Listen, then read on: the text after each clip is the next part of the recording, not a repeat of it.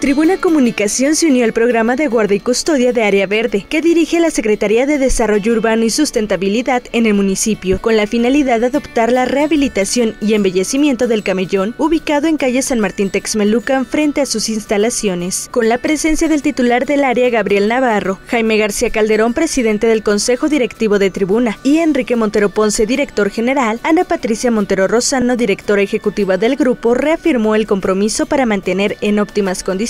este espacio. A través de este tipo de reforestaciones que hemos hecho en los últimos tres años y, eh, ¿por qué no?, en este momento también tomar el resguardo de este camellón, que aparte es, eh, como les decía a todo el equipo, es lo que todos los días vemos, es el área verde que tenemos que cuidar y responsabilizarnos porque está enfrente de nosotros todos los días.